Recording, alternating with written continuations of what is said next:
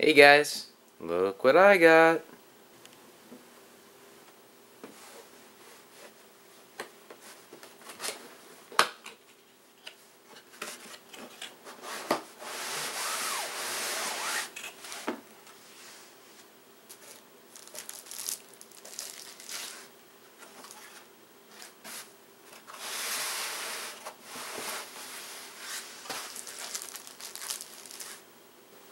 Alright guys, as you can see, there isn't too much to the packaging. It comes with batteries, AA batteries, which I actually prefer. I know a lot of folks are not happy that it doesn't come with rechargeables because I just use the straight alkaline. Uh, I had did not have good success with the ones that came with my DX6i, so I think that's okay. And there are also packs available that I saw online because I hear that this does drain the batteries pretty quickly. So that is an option that uh, you can explore. Now the owner's manual is quite thick. And that means that this is a very capable radio full of a lot of different features and a lot of different ways it can be programmed. So know that that is an option and hopefully I will be able to touch on some of the key key things that this can do in this review. Okay guys, so I've got it out of the box and the first thing I noticed that it feels really nice in my hands. Unlike the DX6i, which is the one that I'm accustomed to, this has nice rubber grips. It feels a lot more ergonomic in my hand. Uh, I plan to do a direct comparison video between those two radios here at some point in the future. Right now I'm going to focus mostly just on the unboxing and review of this. So in addition to looking cool and feeling nice in your hand, it can look even cooler in action. So you've got this backlit display and you've got voice alerts which are great uh, some folks that have done that enjoy that quite a bit. This thing also has telemetry. Not only that, um, I'm not sure if you could do it on the DX6i, but there's directions in this manual on how to raise these throttle sticks, which it comes with a little Allen wrench. And you can either raise the thumbstick or lower it down. Gives you that option. You can also um, pull off one of these sides, I can't remember which it is, and you can adjust the tension and the sticks. Now the other really cool thing, there are lots of cool things that I'm finding out with this thing. Uh, when you increase the throttle, I'm not sure if you can see that, you can see how it tells you what percentage of it that you're doing, which is great and it also starts the clock automatically. Now, one downside to the backlit light is that you've got a situation where it only allows you to keep it on for 30 seconds. Now, I don't know how to uh, keep it on longer than that, which the beauty of that would be flying and having a backlit light, not having it turn on and then shut off on you in the middle of flight not really understanding that concept, but it, the settings that are available are 30 in a minute. I'm going to see if there's a way to figure that out and, and get that longer, but that's what it appears at first glance. Um, yeah, so I think it's pretty cool. And I'm really excited that it tells me the percentage of throttle. And that the timer starts on its own. There's so many times when I have been flying and forgot to hit the switch on my DX6i, which is a trainer switch, to kick off that timer, and now I don't have to worry about that. So I've got a little update for you guys. Uh, you know when I said that the backlight was only available on up to 60 seconds. Well, I was wrong. It can be on off, on, which is where I'm going to leave it, I may back that percentage off a little bit because it, it does seem to suck the battery quite a bit. And you can set it for a multitude of seconds. 60 seconds when you turn it on. I'm not sure. I understand uh, it being like that. But you've got the flexibility, and that's good. So I'm going to turn it to on. Just that down. Really doesn't need to be that bright, and most of the conditions I've been doing it. Could serve a little battery. And back to the list. Alright, so the next thing we're going to do is take a look and see how the radio fits inside a very popular soft case. Even though it's got some hardness, it's still considered a soft case. There are some cases that are literally made of metal that people just chuck into their vehicle and that protects the radio. This isn't quite that advanced, but it has offered some pretty good protection on my DX6i. Let's see if this works. I was told by Greg H that this works. We'll see.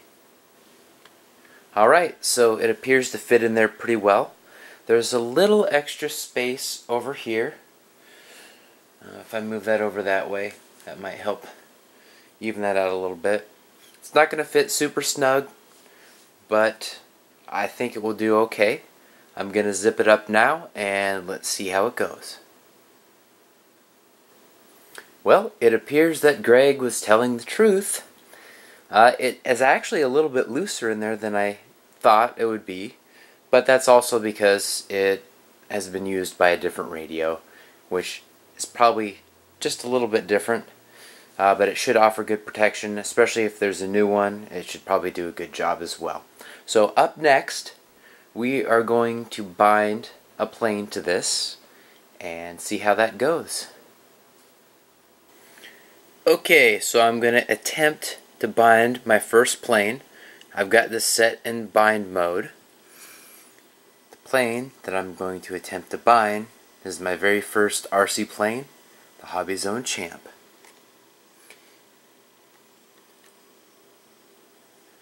And I'm going to select it right now.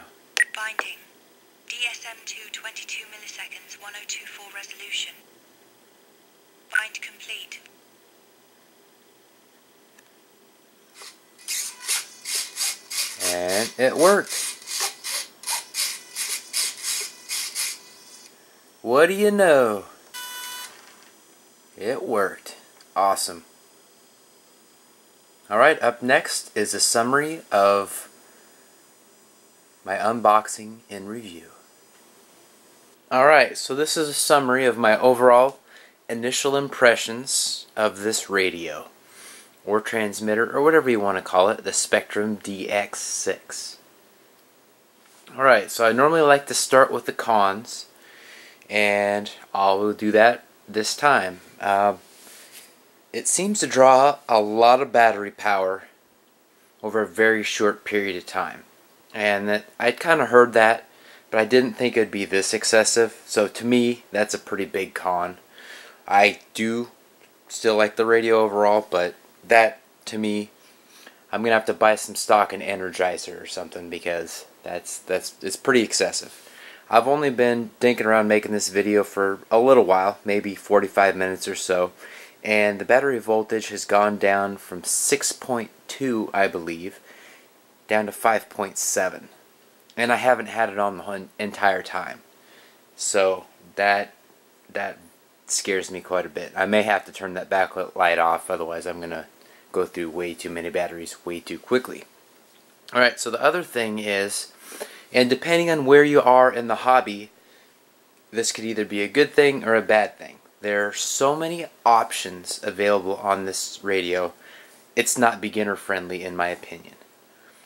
I would recommend the DX6i if someone's going for a 6 channel or a radio they can grow into over this one because it's there's so many options, so many ways that you can mess up.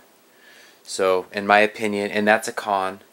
I, the price point's not bad, um, but for a beginner, I don't think this is the radio for you yet. It's definitely something that if you really want to stretch yourself and if you had a friend that was able to help you out and help you navigate through it, it may be a good radio to grow into. Uh, but I don't think it's a good beginner radio, my opinion. Alright, so let's go to the positives because there are a lot of positives about this. Looks great, feels great. It's got 250 model memory. I don't care who you are, you're not going to fill that up. But if you're crazy enough and a big enough uh, RC fan, RC flight fan to fill up 250 models, you can expand it. That's huge. That's huge. I, I can't even explain how excited I am about that because that's the main reason that I, I bought this. My DX6i has been great. It's been reliable. It's been there for me. However, I find myself overriding the models in there. It only holds 10. I've got way more than that. For those of you that subscribe to my channel, you know that I have a lot more planes and helicopters, if you include all that, than just 10. I haven't even added it up recently, but it's a lot more than that. Alright, so the other thing, which can be a con, you know, with the battery, now it's down to 5.6 volts, is the backlight. That's going to be great on those days when it's really glary and you just can't see. So that will help a lot. Or when it, the sun's just about to go down and you want to be able to see what's going on. Alright, so the other cool thing is, are the voice alerts, which make it so you don't necessarily have to use the backlit light as much as you would with say the DX6i if that had that option. So in summary, I like this. There are a few cons, few things I need to work through, get used to it, because like I said, there are a lot of things that are included in it. But overall, I like it. I'm excited.